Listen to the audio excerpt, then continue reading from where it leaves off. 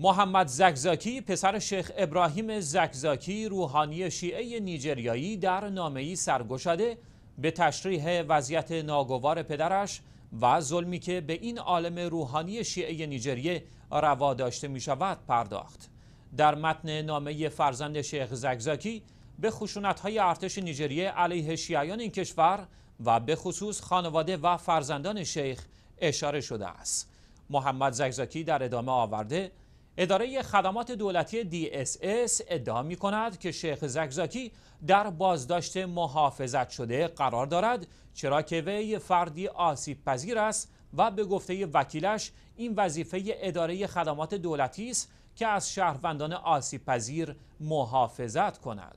او همچنین در این نامه تصریح می کند پدرم علاوه بر از دست دادن یک چشمش از ناحیه دست و پا نیز فلج شده است. وی از همه کسانی که به حق انسان برای برخورداری از عدالت و کرامت معتقدند خواست برای رفع تبعیض علیه شیعیان کشور و آزادی پدرش از هیچ تلاشی فروگذار نکنند.